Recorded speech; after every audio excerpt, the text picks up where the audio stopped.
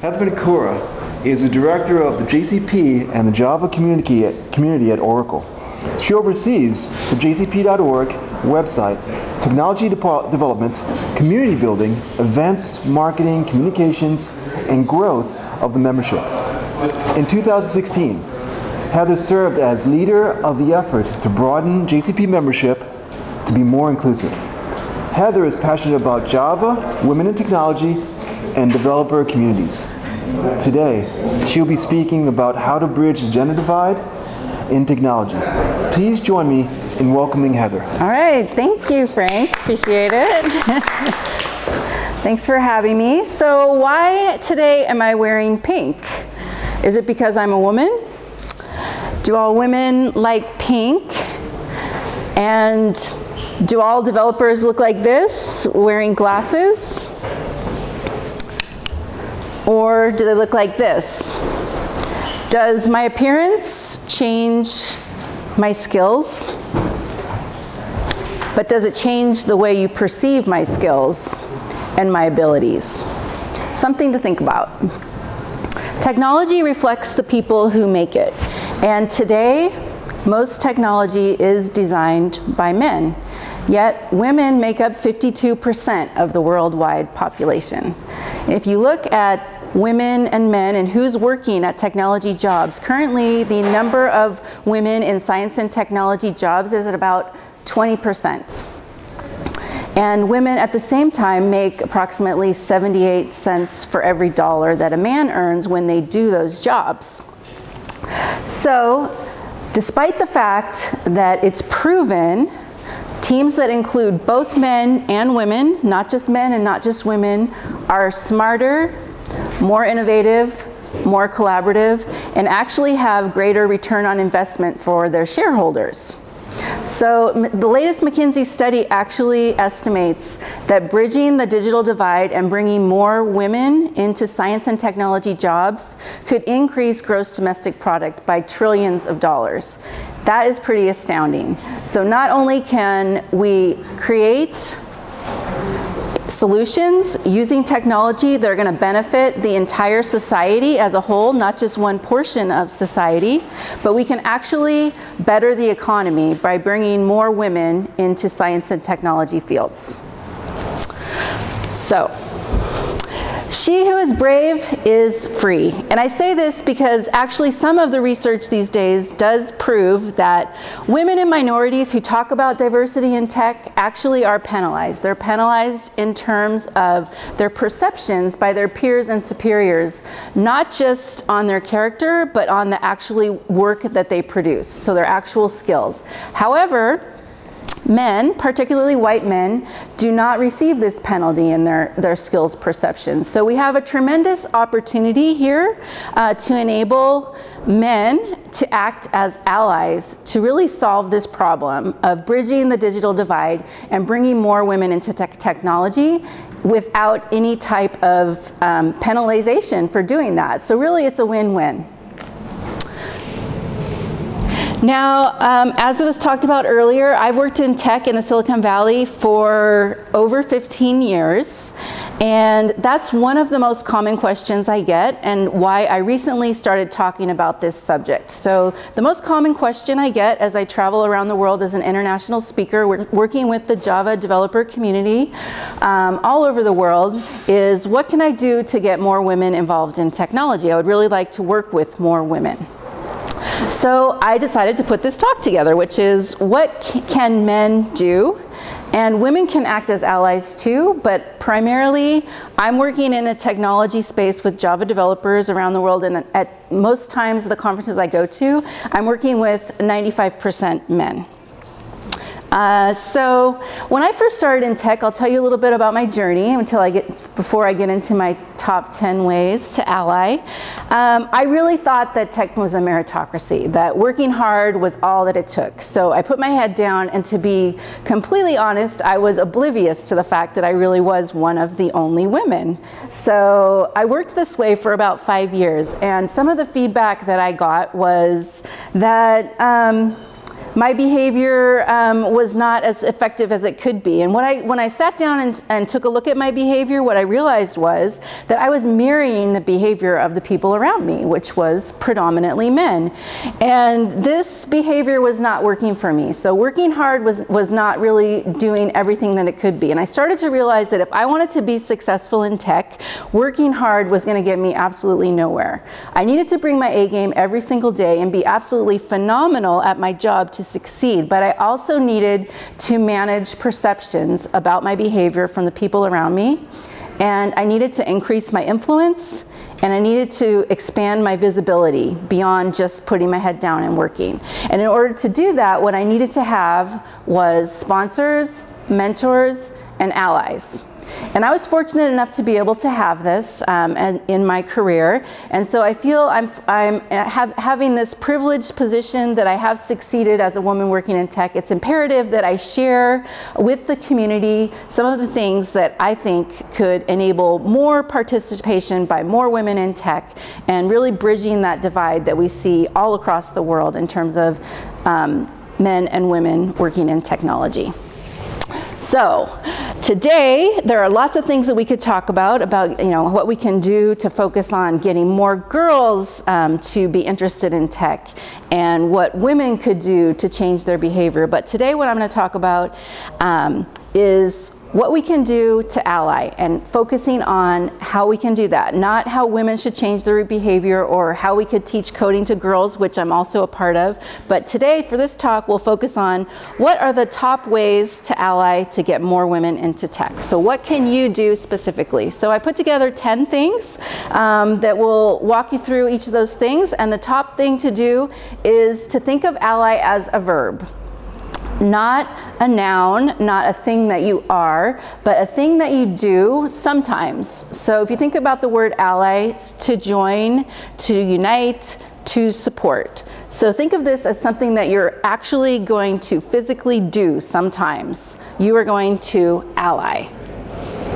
Second, be open. So we all know that talking about the subjects of gender, sex, uh, race, um, discrimination, is all uncomfortable. And there's an intersectionality to all of these things. They all kind of relate together as we talk about diversity in tech. So I recognize that it's uncomfortable. It's uncomfortable for me, and it's probably uncomfortable for most everyone. But what I want to do is create a space a safe space where we can be open and recognize the fact that we'll all make mistakes and it's okay to try some of these things, especially keeping in mind that everyone is going to make mistakes. But if you just try to be simple and direct and kind in your responses, you're going to find that you can actually make a significant difference. Be aware this is one of the things that you can do. When you're doing your work or when you're at a conference, be aware of how the assignments are being distributed.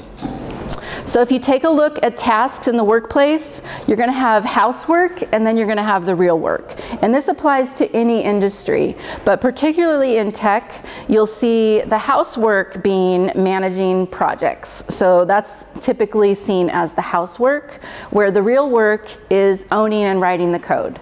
So be aware of the fact that not only the housework tasks like cleaning up the kitchen or organizing the conference room or scheduling a party in terms of thinking about distributing the work amongst different members of your team, but actually think about the types of tasks that are work, managing projects versus owning and writing the code, and making sure that you see a balance in those types of tasks.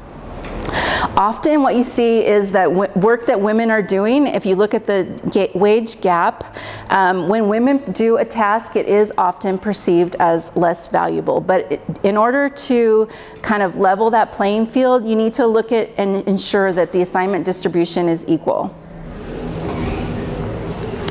Create a friendly environment. So if you've done any research on the topic of women in tech, you've probably heard the term the, the about the pipeline. So as I mentioned earlier when I did my introduction talking about the pipeline, that's bringing girls into technology, getting them to study it um, through high school, getting them into undergraduate degrees and graduate degrees in computer science. So that's the pipeline, building that up and getting girls in.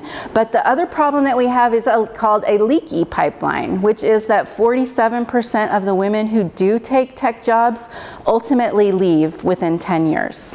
So that's a very leaky pipeline. So what can we do to actually retain these women who do decide to get into the tech field and have these um, roles in a technology environment to actually keep them? So what you often hear uh, women complain about when, as it relates to leaving the technology field is the programmer culture.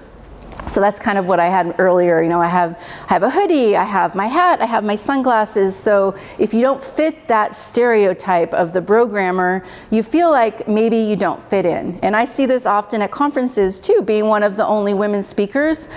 Um, for me, it doesn't make me uncomfortable, but often I'll have women come up to me and ask me how it makes me feel. They would not feel comfortable stepping into this role feeling like they don't fit in. So what you can do is create a friendly environment. When you're in those situations where you see someone who looks like they're really not fitting in or you think they feel a little bit uncomfortable, look for ways that you can flock together with them. So they say birds of a feather flock together. So ask them questions about their work. Um, look for a way that you can connect with them as as a person.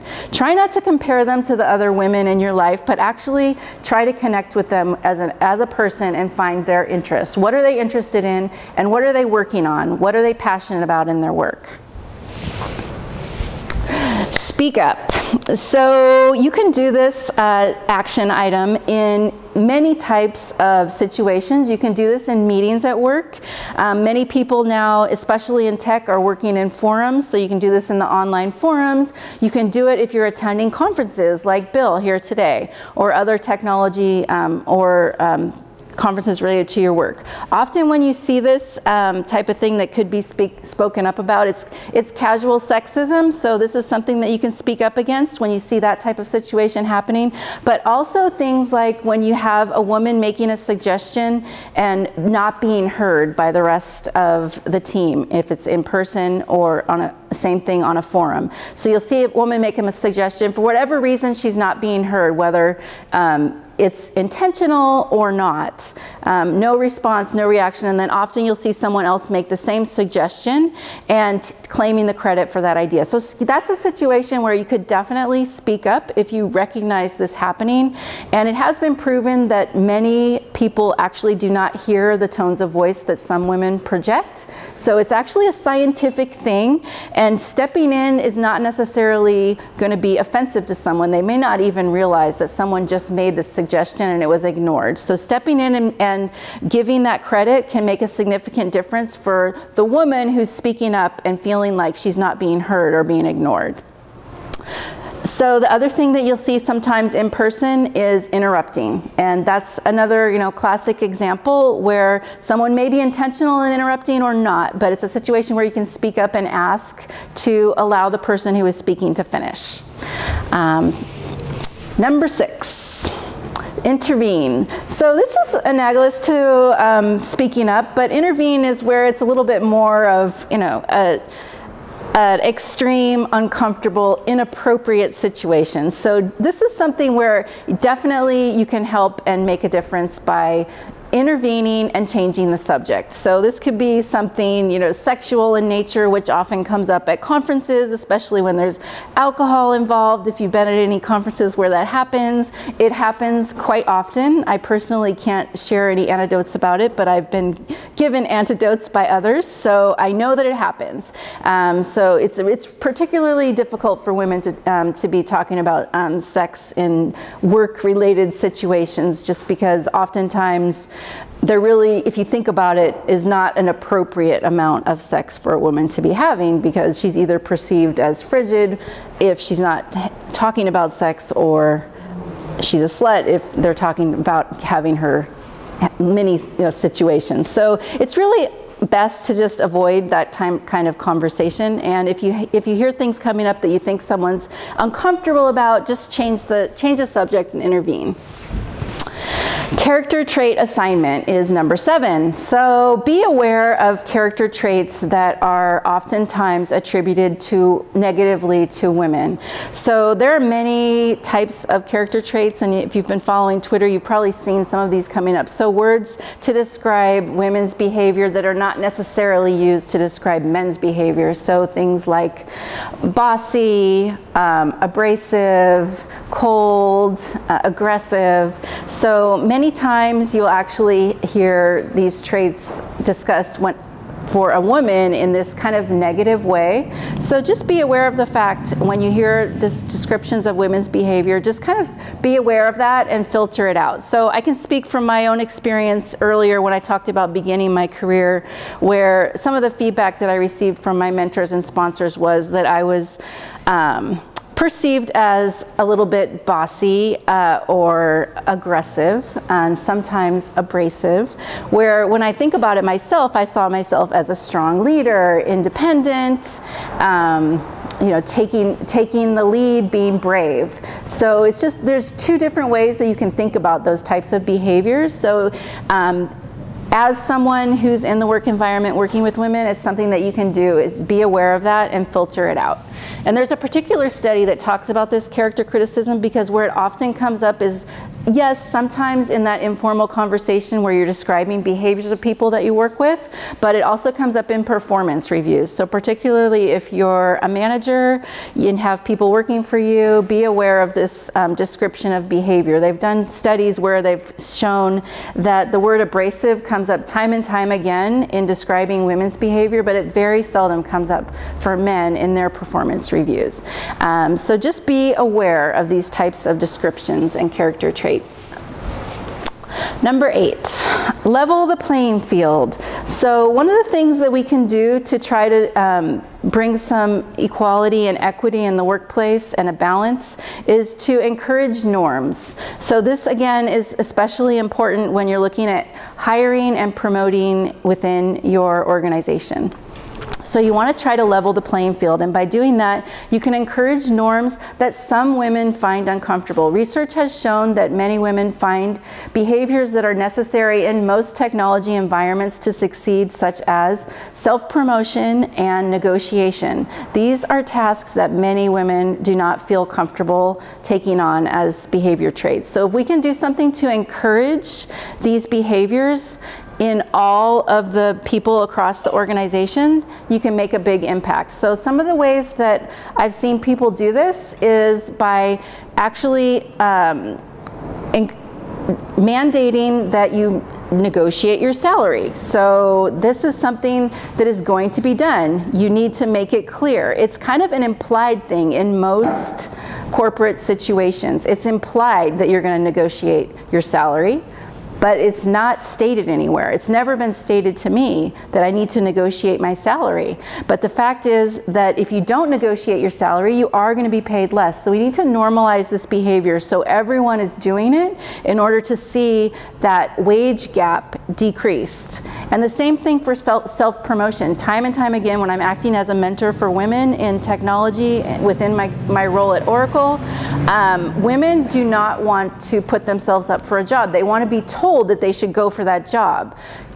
They will not put themselves up for the job unless they have all of the requirements that are listed in the job description where a man will apply if they have two of those skills, maybe even one, and they figure they can learn it while they're on the job. Where you see a woman wanting to make sure every single thing on the list is checked off before they'll even apply or promote themselves for that. So you need to, to normalize that as a behavior that you can apply even if you don't have all of these requirements. Really make that something that is going to be commonplace and a behavior that's expected and encouraged.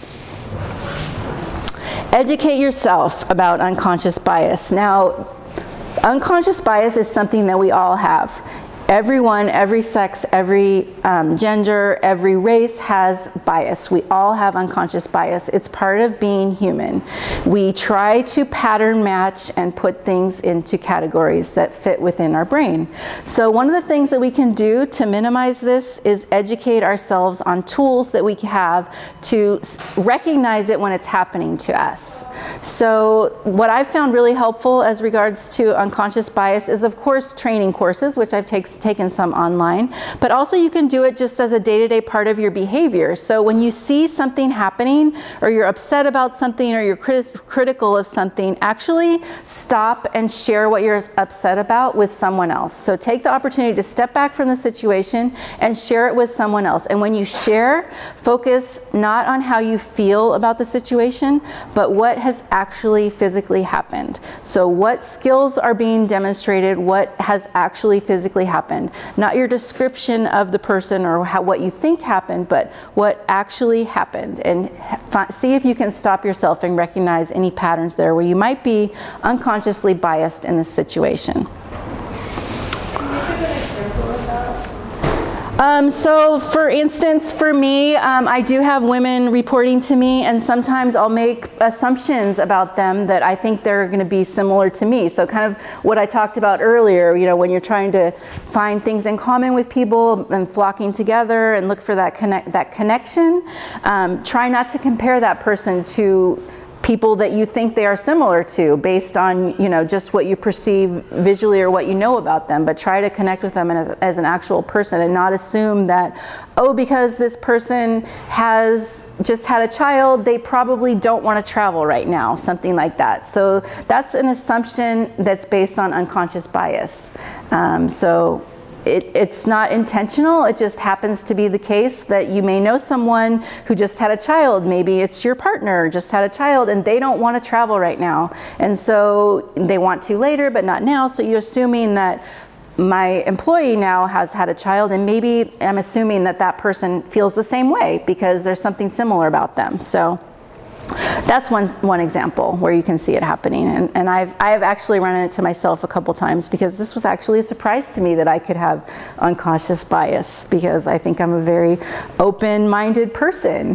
But the fact is that, you know, it, it comes up for everyone. The uh, last top 10 way to ally for women. So suggest women. So, you know, we need to support and encourage women as speakers and as leaders in organizations. So I've been fortunate enough to have this and I am invited to speak around the world and I do participate on panels. Here you can see me in a panels with 20 something other men. Um, so it's, it's um, really important if you see women out there that you think would be great to actually encourage them. So invite them to participate in conferences and panels to run up for that job promotion. And if, if, you are, if you are a frequent speaker and you receive many invitations, actually suggest that woman that you know of. Or if you don't know of any, maybe suggest, ask who's on the panel and see if maybe they could get some more diversity in the panel. Um, if you don't know of someone, you know, you can just make that uh, general suggestion. It would be nice if we could find someone who would make the panel a little bit more diverse. So that's definitely something that you can do to help support and encourage that um, diversity in um, conferences and at panels and to have speakers and attendees also that are diverse, that um, represent a mix of society, not just one portion of society or one portion of the industry. And oftentimes this is just something that goes unrecognized. So it's not something that you should assume people are always thinking about. So if you are, you should definitely speak up and make that suggestion. So the last thing I want to say is you are here listening to my talk and I think that makes you awesome.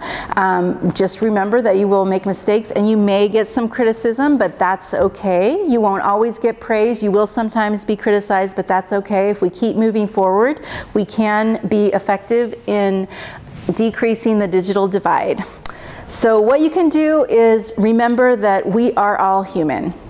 We are more similar than we are different And we can all be the change that we wish to see if we focus on people as individuals and focus on what brings us together rather than what divides us. And we can achieve the goal of gender parity in tech by taking these small steps day by day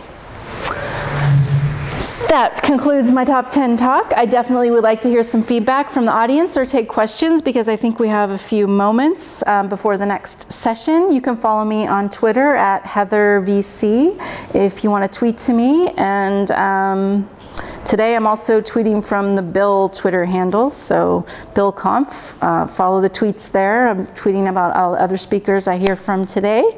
Um, thank you again for coming to my talk. I appreciate your attendance and for trying to make a difference and caring about this cause.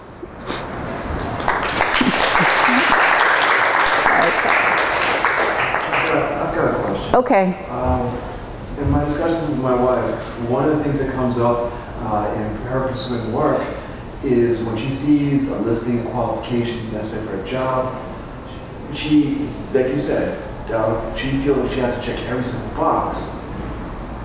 And yet, I'm comfortable even if I check only most of the boxes. And I'll take a chance on that. Um, and explain why I can handle the rest. But what can I do to get her to feel more self-assertive to take those risks when she does, when, you know, when she doesn't completely fill somebody else's checklist? Okay. Yeah, so the question is, you know, if you have someone uh, that you're working that with, with your wife in this particular instance who isn't meeting all of the qualifications for the job and feeling, you know, not confident enough to apply for the job, um, I would definitely, you know, it could have been written differently in the job description. That's why when I talk about it, it's from a hiring manager perspective. Try to write it in there. These are the things we like. You don't need to have all of these things. So as a hiring manager, that's what you can do. But as far as encouraging someone who's a candidate to apply, um, you can let them know that this is standard practice, that there isn't going to be a perfect person. No one is perfect, and no one is ever going to fit an exact description. Really, that's a guide, and just um, inform them and educate them that that's industry practice. So that's one thing that you can do. Um, you know, I didn't say it earlier, but clearly, you know, I, as I said, I wasn't focusing on women in this talk, but confidence is key. So if you don't have confidence, it's going to be really hard to succeed. So you need those sponsors, mentors, and allies. You need to network to help build up your confidence and your network. Um, so it's really hard to do that kind of in a vacuum, you know, in your home environment, especially if you're trying to get back to work and you're not working. It's hard to get that confidence and self-esteem from, you know, the workplace, which is, you know, obviously a place where it can be received if you're in a supportive work environment. Um, but go out and network and, and try to build that uh, system up. So it's a great way to find a job is actually networking or referrals through somebody that you know. Um, so look look for ways to build confidence. I mean that's you know some, something I recommend. So that's through networking. It's through you know volunteering. It's um, through go, putting yourself out there and taking a risk and doing something that makes you a little bit uncomfortable sometimes. Okay. Yes. Hi, I just wanted to volunteer my experience as being the oldest person who was also female at a startup a couple of years ago. And it was really interesting. I and this other guy were hired um, about the same time. It's like my third week on the job, and I'm, I'm walking on the, I'm walking near the little kitchen area, and these two guys are talking to each other. One's in his 30s, one's in his 20s. And the 30-something guy's like going, he's talking to his buddy, and then he's going to the refrigerator, and he turns to me, I'm six fucking feet away, and says, do you know where the cream cheese is? And I say, no, no idea. He does not ask his buddy. And then he's like, oh, maybe they froze it. He pulls it out of the freezer and says, what's the best way of defrosting cream cheese? And I look at him, and there's no filter between my brain and my mouth at that moment. And I say, are you asking me, pretty much at this level, are you asking me because I have ovaries? I have no idea how to defrost cream cheese. I didn't even know you could freeze cream cheese. Do not ask me about cream cheese. And his buddy is doubled over laughing. And then when he stops laughing, he says, You're acting like that woman in Copenhagen when I opened the door to let her go in. And she said, I can open the door myself. Okay, so I'm just going to tell you A, I do not believe that those are parallel experiences. and B, that was not a particularly welcoming place for me to work. So, as an alt, I've got that against me, and as someone with ovaries, I have that against me. Yeah. So, I think unless the men in this room and in other rooms step up to support women, and unless white people step up to support people of color, mm-hmm. and unless able-bodied people step up to support people who are not able-bodied, our fucked situation will continue to be fucked. Thank you much Yes. for being here. Sorry that I got here late and not see your entire presentation. Oh, well, thank you for coming to the presentation and thank you for sharing. I mean, that plays in perfectly into my slide about, you know, the leaky pipeline and getting people to stay. Is the environment in technology can be very uncomfortable. It can be. And the fact that so many people come to me about wanting to change it is a good sign, but not everyone does want to change it. Maybe in your situation, you had the case of some certain, you know, employees that didn't want to change it, but there are a lot of people out there who do want to change it and who want to, you know, actually take that step into action of not just talking about it, because that's often, you know, when I go to conferences and it's discussed, um, oh, lamenting the fact that there aren't any women here. Well, that's actually not going to change anything just talking about it. So, actually making some steps to change the work environment can, you know, can actually make a difference and actually changing the behaviors of certain people and, and the actions that they take. So situations that you run into where people would know that that's not appropriate behavior and that there would be consequences if it happens because even if people do know it's inappropriate, they're still doing it because there isn't any consequence for it. Did you have a question? Yeah, we're talking about this leaky pipeline, and is there something that you would want to convey to um, young engineers, female engineers and male engineers about the industry that you had misperceptions of before you went into the industry, and when you, when you went into the industry, you discovered that these things were, were uh, problems that you hadn't realized before? Yeah. Well, I think when I went into it, I didn't realize that um, there was that it, I really did think it was a meritocracy. So I think that's a big misconception. So that's tech is put out there as it's a meritocracy. Um, so I think that was my biggest misconception was that I thought, and oftentimes that is the response that I get is, oh, well, just focus on the work, which, you know, is great. Like I said, you have to be exceptional at your job. You have to be doing the exceptional work every single day. You can't get anywhere without that. But the fact is that there are other things, especially as a woman, that you have to focus on and to be aware of those things because if you're not focusing on those things, you're, you're either hurting yourself or you're just staying in the same place. So just to survive, it's necessary to do things like build out that net- network.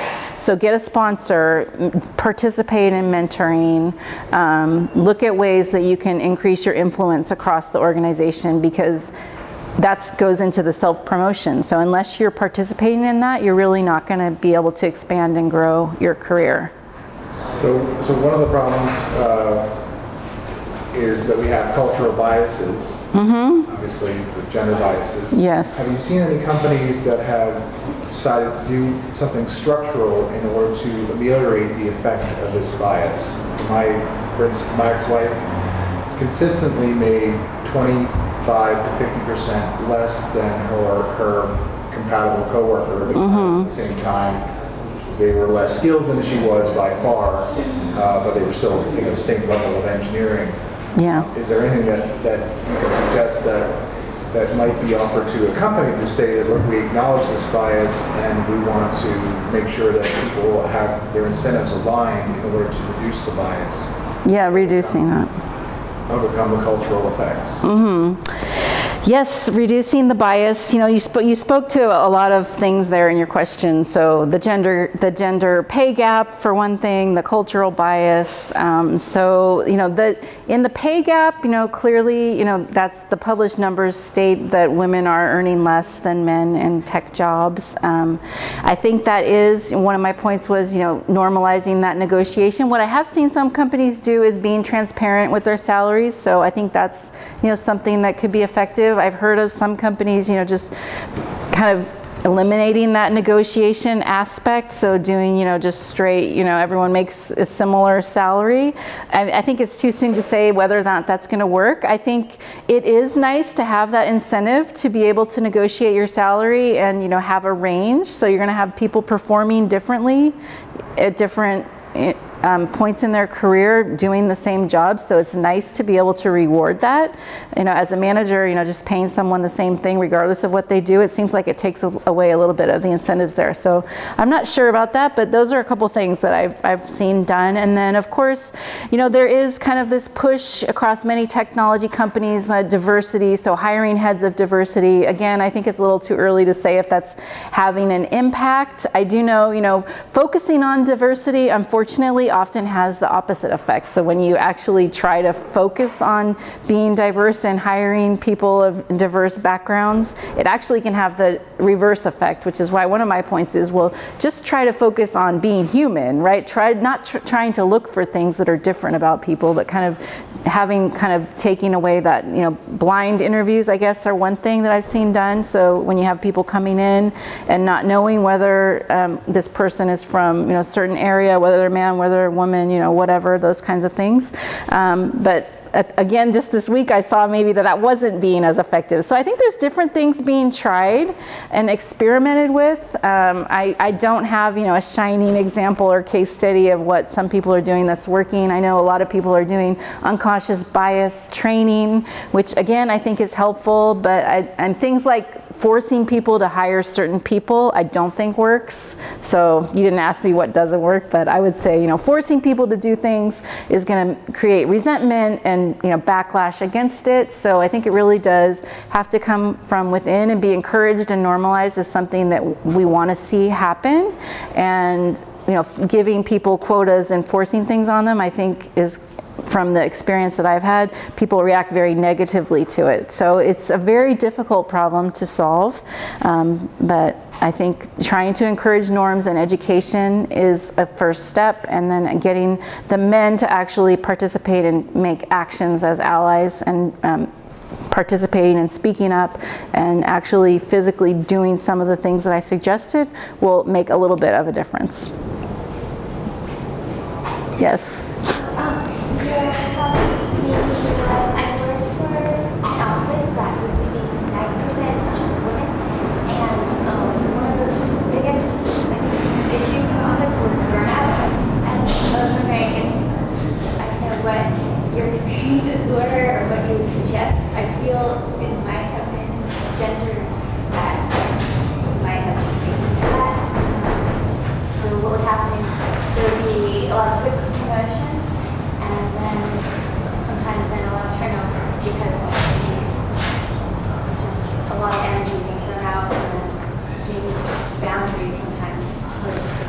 Okay. Yeah. So your question is about burnout. So you worked in a situation where there were a lot of women experiencing burnout, so and turnover within the, the roles because of that burnout.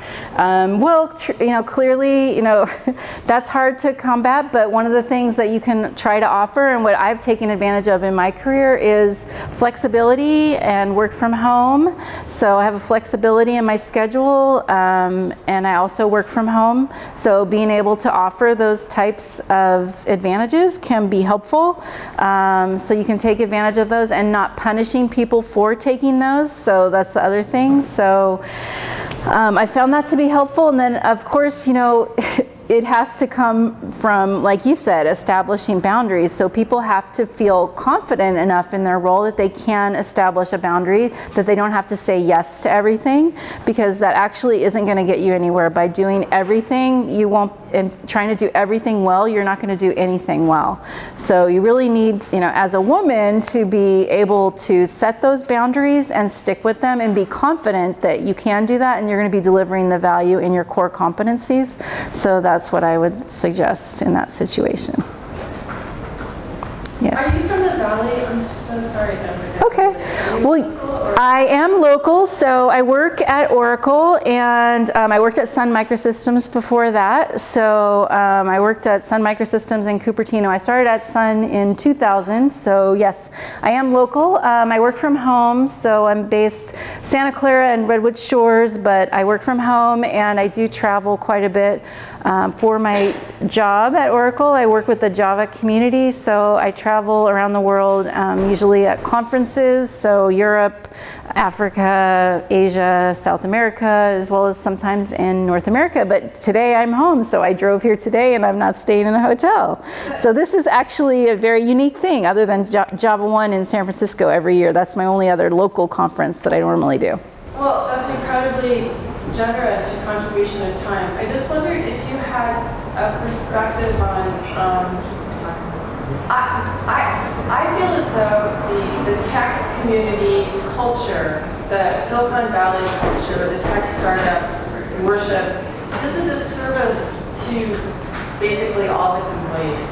You know, it's like the, the myths of, like, I was at Yahoo years ago so that they could point out to me, like, the cubicle where Jerry Yang used to sleep un- under it in his sleeping bag and stuff. And there's a way in which, you, you know, it's super useful to employers to make us all believe that the most important thing is for us to conflate our lives and our jobs, but it's actually in disservice to us as human beings not to actually have more in our lives than our jobs.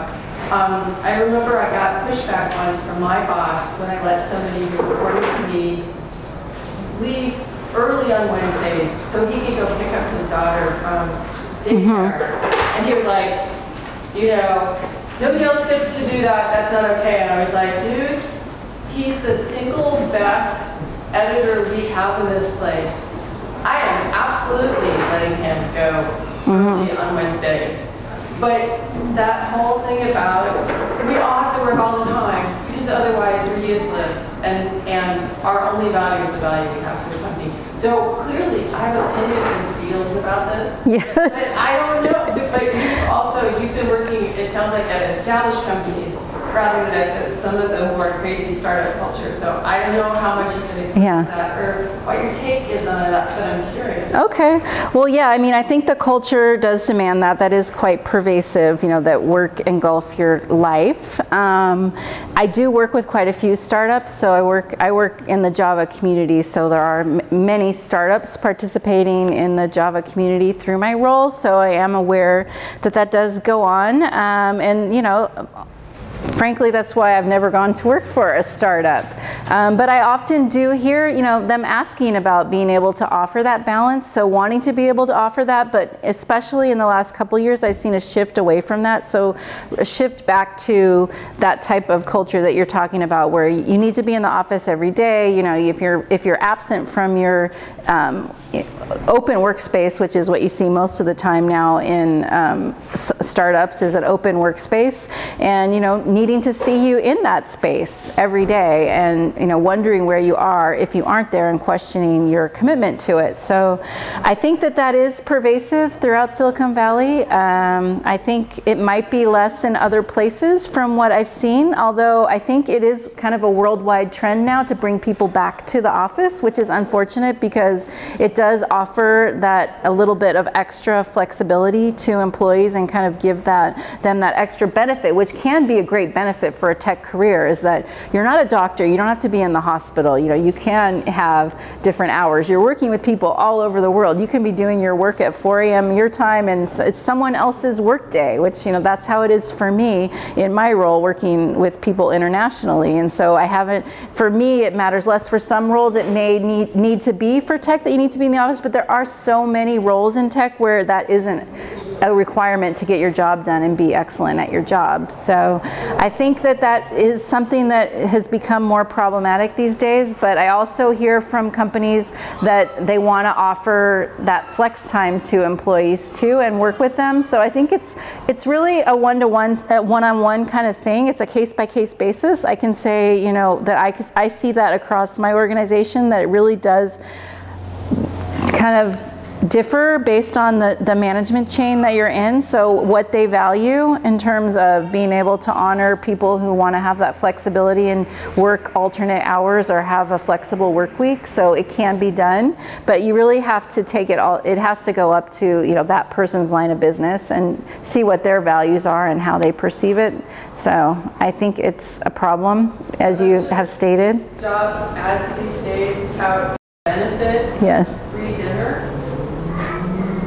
Well, have dinner in the cafeteria, yes. So, Right, they want you there until, yes, yeah, yeah. thank you so much. Yes, well, thank you. Thanks for coming to the talk again. I appreciate your participation. I'll be around and we can talk more. okay, all right.